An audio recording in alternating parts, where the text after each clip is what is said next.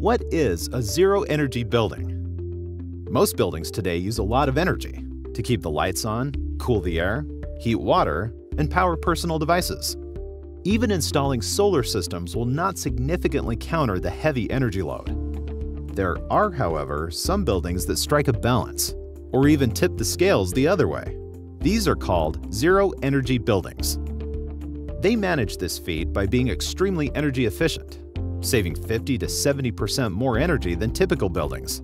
In these ultra-high performance buildings, the amount of energy used can be completely offset by renewable energy produced on or around the building. When conditions are not suitable for energy generation, the building will draw energy from the electrical grid to meet its needs. When conditions improve, the on-site renewable energy systems will cover the building's energy need and send excess energy back into the grid to make up the balance.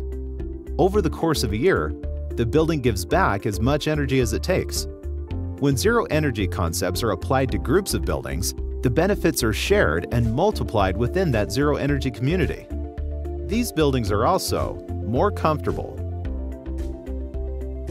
more reliable, affordable to build and operate, and better for the environment. While these might seem like buildings of the future, New technologies are constantly emerging that make zero energy easier and easier to achieve today. In fact, there are already hundreds of zero energy buildings across the US in many different climates.